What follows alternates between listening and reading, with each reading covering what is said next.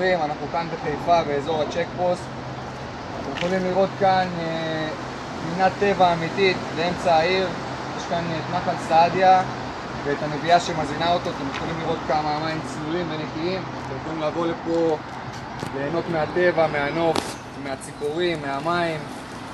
להגיע לכאן עם המשפחה. באמת פנינת טבע אמיתית, גדולה וארוכה. אה, יש לנו כאן כמה בעיות.